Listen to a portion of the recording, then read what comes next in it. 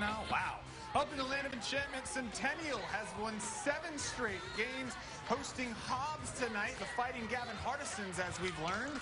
Early going, Centennial's Ian Lopez hits Bryson Medeiros for the touchdown as the Hawks take the early lead. And then the defense shining through as well. Hobbs going to be intercepted by Cole Runyon right here. Nice return. That is not how Gavin Hardison would do it, sirs.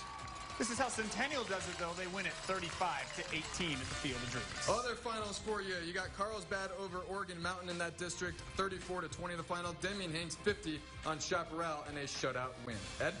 Thanks, Andy.